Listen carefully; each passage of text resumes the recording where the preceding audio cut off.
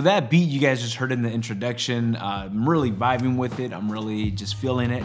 But as soon as I was gonna start adding bass to that track, I decided to turn on the camera and film this video since that is a question I get asked a lot. So in this video, I just wanna show you guys my method on how I add bass in top of sampled bass production. Now the way I do it, I'm sure there's so many other ways you guys can add bass, uh, but I'm not a musician. I don't play no instruments. I don't play no keyboard, no bass. I wish I did, and if you guys could play bass, then I'm sure it's gonna be a lot easier. But for those of us that don't understand keys and musical language, we just have to play it by ear and be able to feel a connection with the bass note that we're gonna add versus the sample. Now the reason why I said it's a little tricky when it comes down to samples is because if you're pitching up or down your sample, which I do a lot, uh, you're messing with the original key and it is no longer on that key that it was originally recorded at.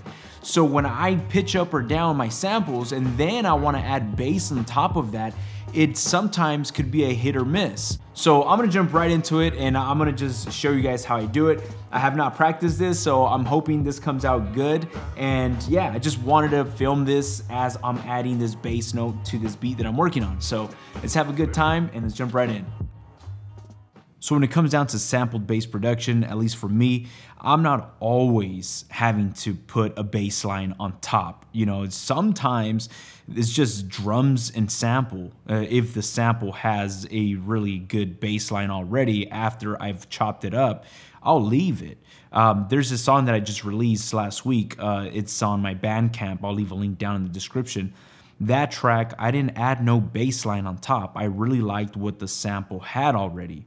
Now, not all samples will have a bass line or not all samples uh, bass line will be punching the way we want them to. So in that case, we will add a bass line on top of that sample.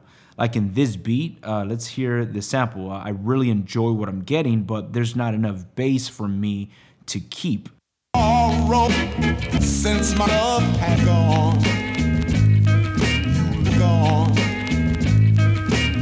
That's a pretty cool sample line, but again, I tried to duplicate it and bring out the bass from that sample, but it just didn't work out. It's not always gonna work out like that. So right here, I have uh, on track one is my sample, track two is my drums, and on track three, I'm gonna make track three my bass. So we'll name this bass. And on this program, I gotta make sure it's an empty program, which as we can see, there is an empty program. I don't want to do it on chops or drums. I'm going to just do it on program 001. That means that this program, there's nothing here. Like there's there's no samples there. So on this program, I'm going to name this bass. Cool. So now I have track bass and program. I just called it bass. Uh, now I'm going to go through and browse through my SD card and look for some good bass notes that I can use. What I like to do here, and I talked about this on a previous video, I'm gonna hit play on my sequence. So it's gonna loop. And as it's looping, I'm going to audition different bass hits and see which one matches the best to that sample. Uh, one thing I'm gonna mention before I jump into this section is that they're not going to be in key. So let's understand that they're not going to be in key. There's obviously going to be off key because this is pitched differently. But what I'm trying to do here right now is I just want to get whatever bass sample that I'm going to load up here to match as close as possible so I don't have to do too much pitching right now once I have it. So let's go to our browser. In our browser, I'm gonna go to this Marco Polo Pad Thai Volume 4. And uh, by the way, he has some awesome bass notes. Uh, if you guys don't have any of this, uh, go on Splice, uh, go on your Ableton and just look up for bass notes and sample them into your MPC. Uh, in this case, I'm going to use uh, this Pad Thai um, sample pack. And as you guys can hear, I'm going to just go through and you're going to hear different notes.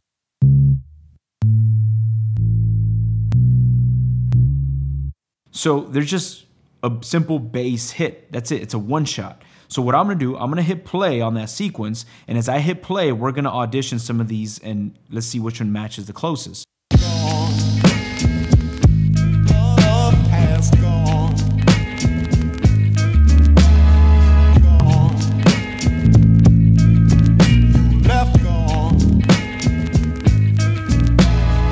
All right, so as you guys saw, I, I just got two uh, samples that I loaded in. I got those two uh, that are not in key with the sample, but they were close enough and the, the it just felt right to me and I know I can pitch it up or down just a few semitones and I might be able to get it close to where I want it to be. But before uh, we go any further, as you guys uh, notice, if I hit this uh, sample, it continues to play. I don't want that. So what I'm gonna do is I'm gonna take that gate off. Let's go to our program editor. And on this program editor, I'm gonna make sure this whole entire program, I wanna make sure is uh, is going to affect the entire program, not just one of the pads. So in order to affect your entire program, you want to hit this little uh, droplet icon up here. And right here from current pad, you want to go to all. So now you hit close. So when we put this from one shot to note on, now when we hold down that pad, it's going to play for as long as we're holding down that pad. When we let it go, it's going to stop playing. Now that we've done that, uh, it's being right here on this program editor, let's go to this tab where it says samples. And on this samples tab, right here is where we will be able to uh, pitch this up or down a few semitones. As you guys can see right here, it says semi. Uh, but before I go to the note or the key that I'm gonna be in, like this bass note, as you guys can see, it detects it. It's on key A. Now, don't worry about it because I myself do not know. Like, I mean, I don't know this is on G. I just know because the MPC is telling me. Uh, what we're going to do is I'm going to go back to the main uh, sequencer right here. And let's go over to our sample. Now, this is really cool with the MPC. I don't know other machines, but I'm sure, uh, I hope they have it. But with the MPC, this is really cool because we're able to see what key this sample is at after we've pitched it up or down, which is really valuable. So what we'll do is on this sample track, I'm gonna go to menu and go to into our program editor. And I'm gonna just hit one of these uh, pads that um that's on the sequence. So it's detecting this sample on G minor. As you guys can see, it shows it right there. So now I know, I gotta remember this sample is on G minor. So if I go back to my main uh, sequencer, I'm gonna go back to my bass and on my bass, let's go to our sample editor. And now I'm gonna click, let's say this sample. This bass note is on A, but that sample loop is on G minor. So what I'm gonna do is I'm gonna go to the semitone, like as you guys see, I'm selected right there. I'm gonna go down. You see as I went down, now it it shot me down to G. As you guys can see, as you guys go down a few semitones, is you know, it's giving you the key.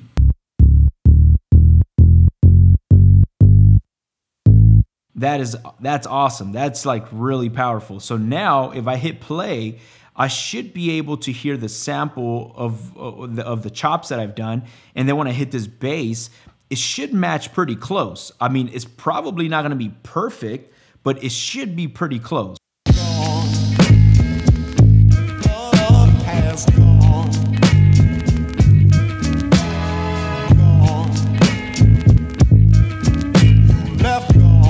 See, this sounds really close. This one, I don't think I'm gonna use it. Again, I load up a few samples to see which one I'm gonna stick with.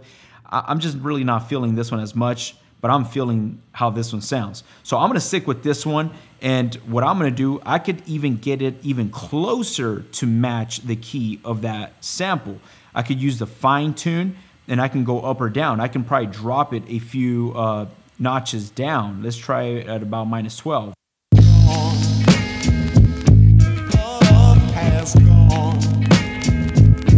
That's really close. Now, is it perfectly in key? Maybe is not. And some of you guys that are musicians here that understand music theory are probably gonna be like, yo, this guy's way off. But it sounds good to me. It sounds close to me, so I'm gonna stick with that. So now we have a bass sample and we have our actual drums and sample.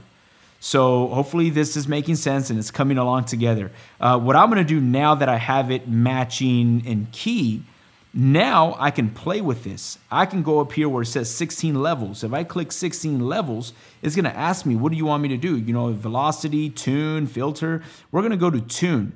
And on tune, it's gonna ask you what original key is gonna be at. So what this is gonna happen is, as soon as I put it on tune, you guys will probably be default to A4. So A4, pad 4, is going to be your original sample. Anything below pad 4 is going to be lower octaves. Anything above pad 4 is going to be higher octaves. So what I'm going to do is I'm going to put this on pad uh, 8. I want pad 8 to be my original uh, sample. So I have something to play with like lower octaves and higher octaves. So I, I don't know, I like being on pad 8. Hit close. And once we hit close, now we have we pretty much have our samples right here laid out and we can play out our bass line as we wish. So now when I hit play, I'm able to practice and see what feels right to me.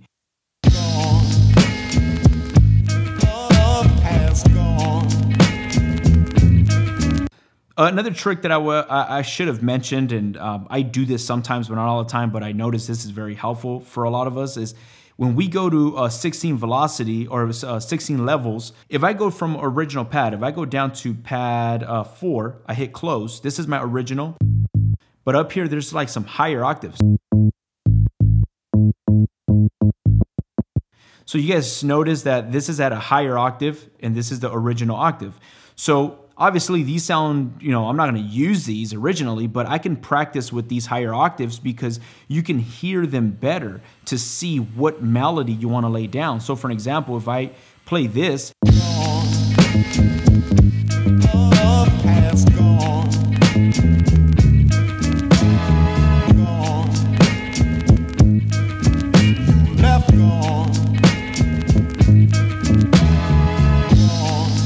So I can hear that. It's it's a lot easier to hear versus this. I mean, you can feel that, but it could be masking with the sample. So a lot of people like to pitch their bass uh, sample up so they can like practice. And once you get what, like right now, I just found this. I actually like that uh, sequence or that melody that I'm doing. So I'm gonna stick to that. So what I'm gonna do now that I found the melody, I'm gonna go back to 16 levels and I'm gonna go back up to A8 to pad 8 to be the original pad, hit close, and now this is the same melody I was playing up there. So let's hear that.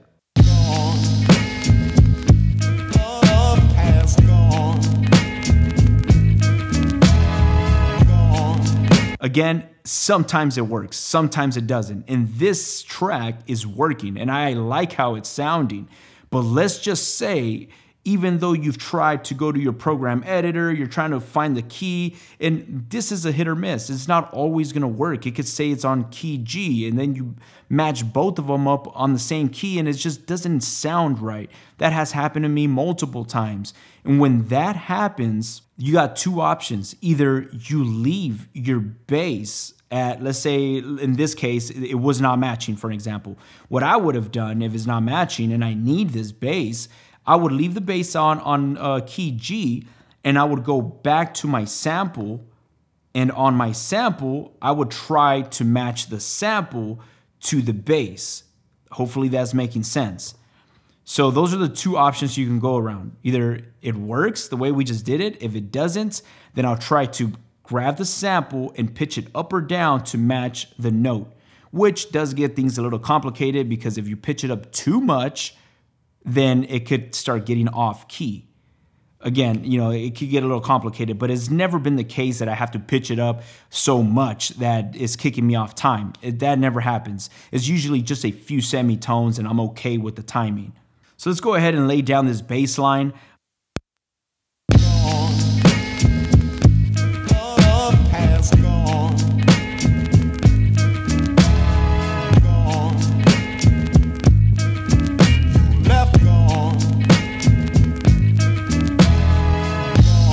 Awesome. So that's kind of how I go about it when it comes down to samples.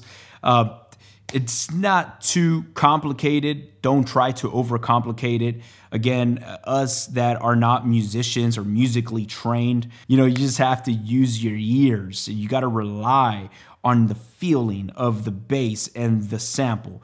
And if it feels right, we're gonna go with it. If it does not feel right, then obviously we're not gonna go with it. So hopefully this was helpful for some of you guys. Uh, if you guys have other tactics or other techniques, please let us know down in the comments because this is not the only way to do it. There's so many other different ways, but this is just what has worked for me. So let us know down in the comments if you guys got any input. If you guys made it to the end of this video, I highly appreciate you guys taking the time. Thank you so much.